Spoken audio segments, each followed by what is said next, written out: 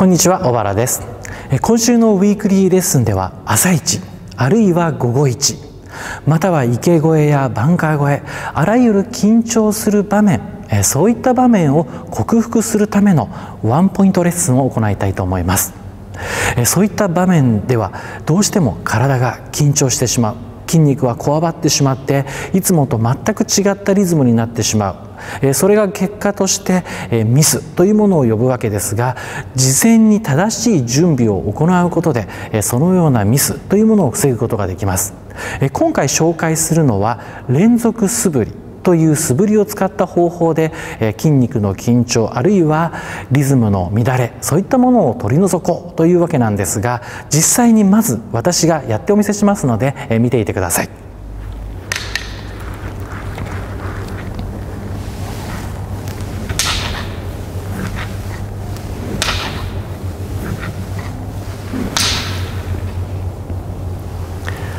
えこのような形で行います。やり方はですね私は今朝一あるいは午後一というものを想定しましたので、えクラブを2本、え持ちました。クラブ2本を持つことで、え手打ち手に力が入ったスイングではなく体全体を使った、えスイングができるというわけなんです。少し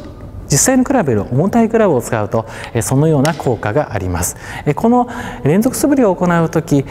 ースに出てしまった時は2本持っていなければ1本でやっていただいても結構です。この連続素振りをする時の注意点というのは大きくは3つあります。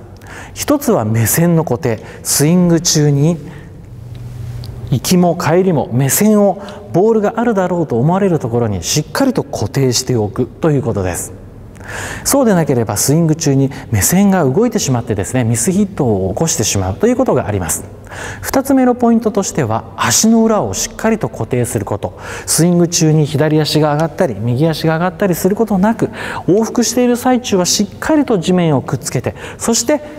最後のフィニッシュを取る時だけ右足を上げていくという形で行います。そうすることでこれも体のブレ左右上下、えそういったブレを防ぐことができますので、えミート率にが向上するということにつながっていきます。3つ目のポイントではですねリズムとテンポなんです。行きと帰りですね。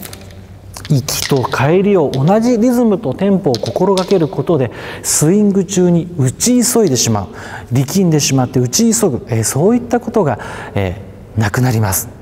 この3つのポイントを意識しながら連続素振りを行って本番直前に心と体をリラックスさせてぜひ緊張感の漂うショットを成功させていただきたいと思うんですがこの練習はですね実は朝一午後一そのようなコースだけで活用すればよいかというとそうではありません。日頃の練習の時から、えこういった練習を行うことで今言ったような、えリズムやテンポの乱れまた体のブレ、えそういったものを根本的に基本的な練習として組み込むそうすることでとても効果を発揮してくれます。是非日頃の練習から取り入れていただいてまたコースに行った時朝一午後一池越えやバンカー越えそういった緊張感のある場面でもこういった練習をすることでリズムテンポ体のブレそういったものを正しい動きというものをですねリハーサルしてぜひ本番のナイスショットにつなげていただけたら嬉しく思います。是非取り入れてみてください。